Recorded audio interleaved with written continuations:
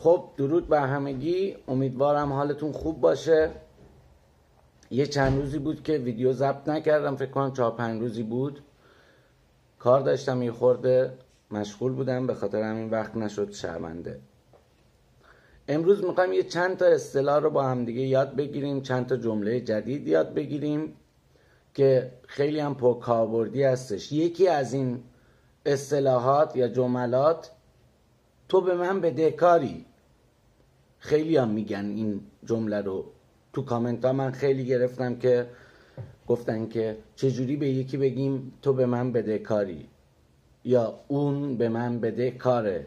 ارشولدت میا دو شولدست میا دو شولدست میا یعنی اینکه تو به من بدهکاری حالا از یه طرف از کسی یه سوالی می‌کنی طرف از جواب دادن تفره میره نمی‌خواد جواب بده هی میپیچونه شما می‌خوای بهش بگی که تو یه دونه جواب به من بده کاری Du schuldest mir eine Antwort.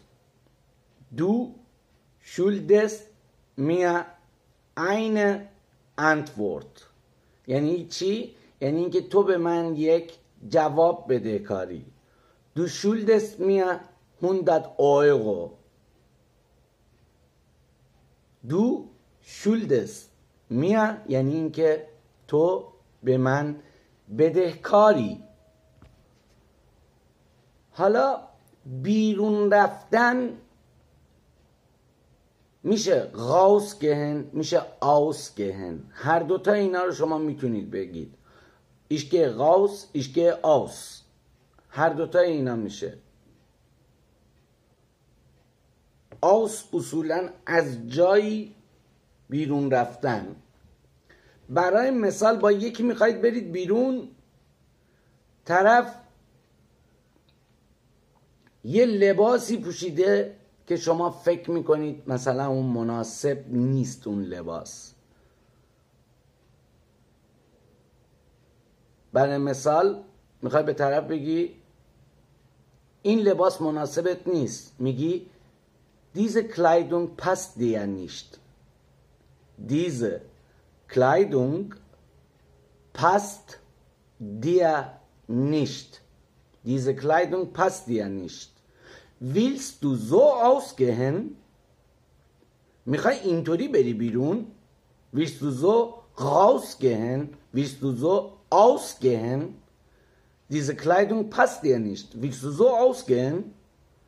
این لباس مناسبت نیست میخوای اینطوری بری بیرون diese Kleidung passt dir nicht willst du so ausgehen willst du so wirklich ausgehen آیا واقعا میخوای اینطوری بری بیرون بس چی شد ausgehen rausgehen diese Kleidung passt dir nicht willst du echt oder willst du wirklich so ausgehen آیا واقعا می‌خوای اینطوری بری بیرون؟ ما توی فارسی یک کلمه مشابه, مشابه مثل آلمانی داریم اونم هست شیک. شیک همون میشه شیک. فلانی چقدر شیکه؟ تو بیس شیک geworden تو شیک شدی. حالا برای مثال به خانومتون می‌خواید بگید که خودتو شیک کن می‌خوایم بریم غذا بخوریم. برای مثال مخ دیش شیک ویگن اسن.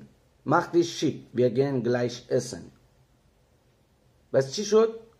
می‌خوای به طرف بگی خودتو شیک کن به خودت برس میشه مخ دیش شیک ویگن اسن. ویگن اسن زیاد نیازی نیستش که مثلا بگید که ما بریم شام بخوریم نهار بخوریم. دیگه اون بستگی به اون زمان داره دیگه. غروب باشه طرف می‌دونه که الان می‌خوایم بریم شام بخوریم دیگه. Wir gehen zum Restaurant. Wir gehen ins Restaurant. همه اینا رو میشه گفت. Essen. Lass uns essen gehen. بیا بریم غذا بخوریم. Also mach dich schick. Wir gehen essen. مختیش شیک یعنی اینکه به خودت برس. خودتو شیک کن. ویگن اسن میریم غذا بخوریم. و جمله آخر برای این ویدیو اینه. برای من دلیل نیار. مثلا شما یک چیزی رو دارید به یکی میگید طرف داره بهانه میاره دلیل میاره. بهش میگید که گیب mir keinen Grund gib mir keinen Grund